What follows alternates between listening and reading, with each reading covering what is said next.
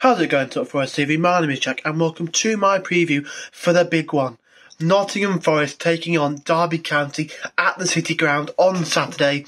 You know, it's one of those games you're always looking for on the on the fixture list when it comes out. One of those games that you're always really excited for, and you, you know, you, you, the, the, excitement builds up as the week goes on. Um, yeah, can't wait for it. You know, I'm, I'm, part of me I'm really excited, and part of me I'm a bit like, you know, we're doing really well, fantastically well under Steve Cooper. You know, we've lost three games in a, almost 20 or, or, or, around that number. You know, we're doing really, really well. Um, but Derby, on the other hand, they're five games unbeaten in the league. Um, you know, they've only lost once in that sort of five league game period in a 1 0 was it one 0 or two one? Um, it was a, it was a, it was a close loss, um, if you will, to Coventry in the cup. But yeah, um, I'm, I'm confident, you know, I'm always confident now under Cooper. He's sort of installed a mentality of, of us being, you know, unbeatable. Anyone can come and we, we will get something from them, unless it's Fulham who seem to score about 70 goals, you know, every time they play a game. Maybe not 70 goals, but you know what I'm saying. Um, you know, so I don't know obviously, I think Forest are going to win, and I do believe we will win, but I don't think it's going to be as clear cut as some may believe. You know, some people say, oh, be like a 4 0 Forest win, very comfortable sort of thing. I don't think it'll be like that. I think it'll be a close one 1 0, 2 1 sort of thing I'm going to go for um, in terms of obviously in the way of Forest. But again, just that mob mentality they have of, of us against the world, the mentality that despite everything going on off the pitch, the ability to still get results on it. As, you know, you don't really like to give credit to your, um, you know, you, you're the biggest rivals, but they deserve it because they've been really, really good um, in the last few games. You know, Rooney's got a real, um, he's got something going on there, and, and you know, if they can stay as a club until the end of the season or whatever, he has, he has a decent chance of keeping them up now. Barnsley have been horrendous. I don't think they've even won a game since their new manager's come in. You know, Peterborough, um, you know, I can't really think of who's down there at the minute, but um, not too many um, clubs down there doing great. So they, they have a bigger chance than any to stay up now. 14 points after 21 being deducted. It, it's still not like, it's still not, you know, amazing. It'll be sort of mid-table, um, you know, but fair play to him. And it's not going to be easy. Obviously, the atmosphere should be incredible. You know, potentially the last ever East Midlands Derby. That sounds so weird to say because, you know, you don't expect Forest and Derby to never play again. But who knows what's going to happen with Derby? Are they going to still be a club? I don't know. Um, but yeah, uh, could be the last ever East Midlands derby. So, you know, it should be the most Nottingham Forest thing to do. Lose to Derby in a game that we can probably, well, I don't know about probably, but we may never be able to play ever again. To put it right, lose the Brian Clough Trophy forever. Oh, I really hope we don't do that. I really hope we don't do that. I, you know what? I feel we might win. I'm going to say 2-1 Forest. I think we might win this one. You know, we, we, we're on a good run. Um, Cooper's really got a good vibe, good mentality going around the the club, around the squad, around the fan base. The fans are going to be really behind the boys. It's going to be a, a similar style of atmosphere to the Arsenal game.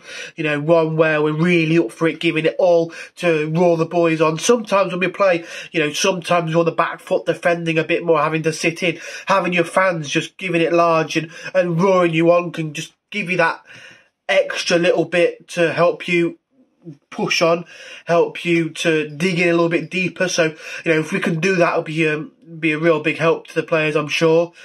Um, but yeah, I do feel that we will win 2-1. And I've got a feeling Keinan Davis might um, open his account at Forest with a goal against Derby. I just see it happening. Um, first half, I think it might be. Um, oh, sorry, I didn't mean to, to cover the camera there, just switching arms. Yeah, I, I just got a feeling he might score. You know, I'd love it if he did because he's looked really good since coming in. You know, caused havoc for the Arsenal defence. Um, from all accounts, I didn't get to see the Millwall game, but from all accounts, he was really good there. Eight dribbles completed, which is the most in the Championship this season. Um, you know, so yeah. He looks really good, and I really think we've got a player on our hands. Someone who can hold the ball up, draw the players in, but also somebody who's um, able to get in behind and, and, show a little bit of pace. Um, so yeah, I think um, I've got a feeling he might score a goal. You know, um, if I had to say another scorer, it's going to be Grabban. I mean, he's he's on fire at the minute. The bloke definitely deserves a new contract. I know I've seen something online saying that um, Cooper's not really thinking about a new contract at the minute, and neither is Grabban. They're just focusing on playing the games, playing football, scoring goals, getting results. Um, so you know, I think as long as his mind's focused on the uh, task in hand, on um, what we're doing on the pitch, scoring goals, like I say, getting results, then you can't really complain too much. Um, you know, if it does start to take his mind off things, if it does start to make him focus uh, on wanting a new contract, or even potentially, I don't think this is the case for but potentially looking elsewhere, then you want to try and get it wrapped up, or you want to try and get something sorted. But uh, but no, I think that we will. Um, I think that we will win this game. I do think it'll be Davis and Grabban on the score sheet. Oh, on the score sheet for them. I've got no idea. I don't really care. Just got a feeling it might be 2 1. It might be a close one.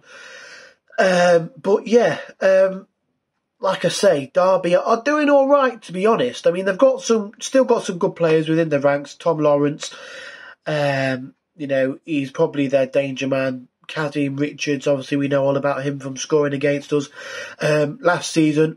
Tom Lawrence scored against us this season. Um, you know, Knight in the middle, Sibley. Um, you know, they've got a they've got a, a good side there. Curtis Davies, good centre back, good experienced player. Um, obviously, it'll be interesting to see how long they stay there, how long the clubs are around. It just seems so weird. Like you don't really know what's going to happen with them. Like it's just so bizarre and you know, to, for this to potentially be the last ever East Midlands derby is huge. I think this one might have a bit more to it than, than any other, and Derby will be wanting to win this so, so much. More than they would any other game ever, probably. In recent history, I'm not going to go as far as ever because they've been in cup finals and things like that. But I mean, in the last sort of 10 years, this might be the biggest game they've ever played. I know they've played in playoff finals, but to beat us at home you know, at the City Ground in potentially the last ever East Midlands derby. It'll be huge for them. So we want to be on it. We want we want that same sort of feeling going into the game. You know, we want to be feeling that this is a huge game for us to win a game. We really want to win and a game that we must win because you know, again, like I say, it, it could be a chance for Derby to take the Brian Clough Trophy forever, and and we'll never be able to have a chance to rectify it potentially. Um, it all just seems so weird saying that. It just doesn't really seem real. Um, but yeah, we need to go out there, get the three points, get the win, keep the trophy, keep um, our winning streak or unbeaten streak, should I say, against Derby going. And yeah, um, 2-1 for me. In terms of the, the, the uh, lineup, I think it's going to be a very similar lineup to what we've seen against Middlesbrough, uh, Middlesbrough, sorry, Millwall from the off. Apart from, I think, Worrall might be injured. I've seen talks he's got a rib injury, but I'm not entirely sure. I've not seen anything too like you know um, what's the word? Set in stone, I guess, too reliable to really say whether it's true or not. I've seen some people say he is, some people say they don't know. I'm not really too sure. It'll be interesting to see whether he does play. I think if he can play, he 100% needs to play. He gets these sorts of games. He gets what it means to wear this badge on his chest. He gets what it means to beat Derby. Um, and, you know, we really need him in the back three. If not, I think some people are saying maybe we'll go to back four. I don't know. I'm not sure about the availability of other centre backs. I don't know whether Figs is fit, and so Eli. Not really too sure on their fitness. So, you know, if they're not fit, then it probably will have to be a four, sort of four two three one, maybe looking something like Samba, Spence, um, Cook, McKenna, Colback, Garner, Yates, Zinckernagel, uh, Johnson, maybe someone like uh, well, I was thinking Carvalho. But I think Carvalho played against Derby Way and was, was quite poor.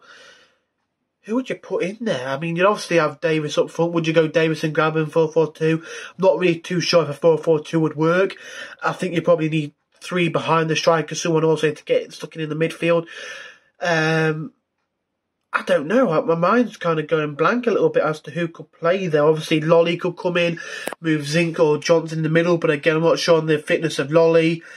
Mighten's obviously out at the minute, so, you know, do we go with someone like a, I don't know, do we play Grabban behind um, Davis or something? I'm not really too sure, um, but I'm sure Cooper's got it up his sleeve and he's got a plan but yeah, like I say, 2 1 Forest has got to be the scoreline for me. I think we have to go out there, we have to win, we have to make a massive atmosphere. You know, potentially that's ever East Midlands derby. We've got to win this one, and we've got to go out there with a bang and, and really just, you know, put on a, a cracking display. Actually, I'm not really bothered if it's a cracking display or not. I just want us to win. I want us to, to potentially end this rivalry with a win, keep the trophy, get another three points, push on towards the playoffs. And yeah, really, uh, really looking forward to this one. Can't wait for it, and uh, hopefully it is a exciting day. Well, it's going to be an exciting day, but hopefully it's a happy one for the Reds. Uh, it's uh, a one that goes down in history as a Nottingham Forest victory, and one that we'll remember for years to come. So, if you did enjoy, smash the like button, subscribe if you are new around here, and you have enjoyed um, this video or you are enjoying the videos on this channel. Let us know down below what you think the score is going to be and that sort of thing. And come on, you Reds.